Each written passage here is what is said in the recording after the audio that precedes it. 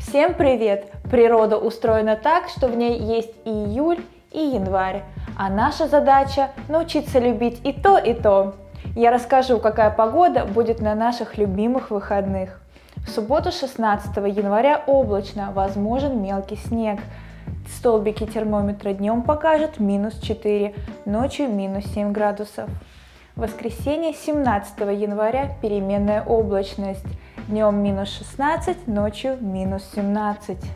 Ищите сотрудников в свой штат? Начните поиск с сайта Блокнот Воронеж. Размещайте свои объявления в разделе «Работа». Его увидят тысячи жителей нашего города на сайте и в Инстаграм. Условия размещения можно уточнить у нашего менеджера прямо сейчас.